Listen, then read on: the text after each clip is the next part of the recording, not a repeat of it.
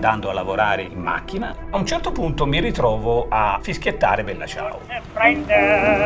Mi fermo, guardo nella custodia del dischetto e leggo Coilen, quindi non Bella Ciao, 1919. Bella Ciao è il frutto di tante contaminazioni. Si fa addirittura risalire a un canto francese del Cinquecento. Oh, bella ciao, bella ciao, bella ciao. Abbiamo deciso di portare uno spettacolo al Festival di Spoleto. Il capo in piedi. E per la prima volta facevano il loro ingresso in uno dei tempi della musica italiana le canzoni popolari. Successe un putiferio.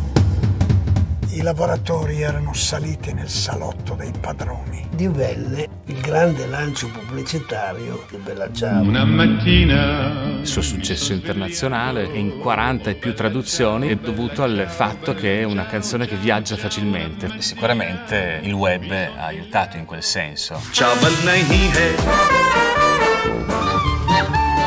Conosco tante versioni di Bella Ciao, il kurdo, il turco, in italiano. come un salvavita scatta ogni volta che lottiamo contro una qualche forma di privazione di un diritto, un atteggiamento anche soltanto mentale.